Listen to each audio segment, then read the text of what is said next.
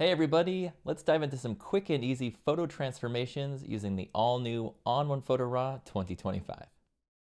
So let's first start with a landscape. With this landscape, it's a little bit underexposed, so I'm going to go up here to Brilliance AI, and that's automatically going to develop the image's tone and color for me, bringing out all of those darker details that I wasn't able to see earlier. I'm also going to head into my local adjustments section where it's actually created two different local adjustments for those different sections of my scene, the sky and the water. I'm gonna pull up on this sky slider here, and that's gonna give my sky a little bit more drama and make it more interesting. From there, let's go into the effects tab and let's style the image with a couple of filters. The first filter I'm going to add is the glow filter, which is one of my all-time favorites when I'm dealing with water in my scene. I'll use this darker style to bring in a nice, soft, silky look into the water.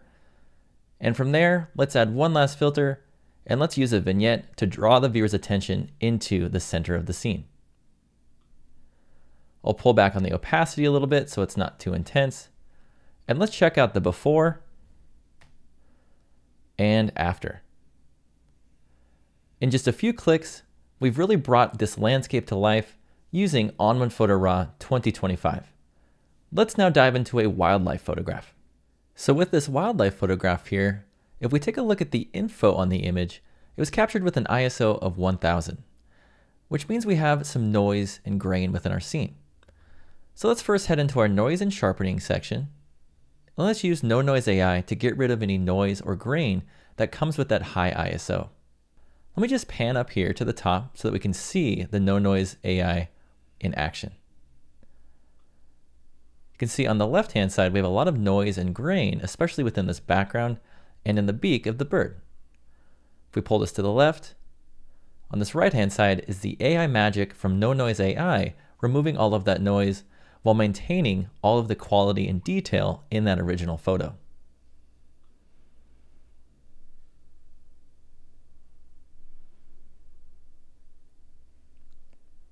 Let's just apply that so that we can continue on in our editing. From there, let's automatically adjust our tone and color using Brilliance AI. And with Brilliance AI, you can see it's done a really great job of just giving us a better exposure so that we can see all of those darker details within our wildlife capture. Now that we've developed our tone and color and we've removed the noise, I'm going to grab Super Select AI, which I can hit with the K key on my keyboard. With Super Select AI enabled, I can just hover over different regions of my image and I can apply different local adjustments or filters to them. So I'm just going to select my bird here by dragging a square around it.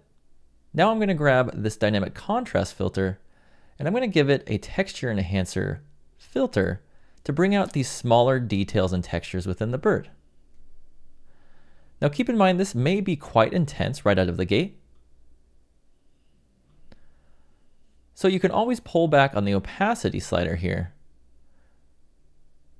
or simply modify the dynamic contrast section to ensure that it's not too strong.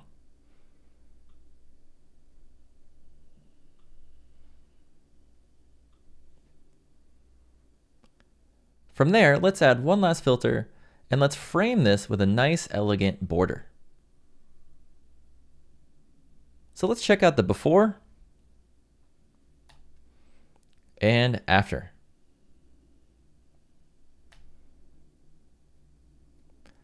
And that's how easy it is to transform your wildlife and landscape images using ON1 Photo RAW 2025.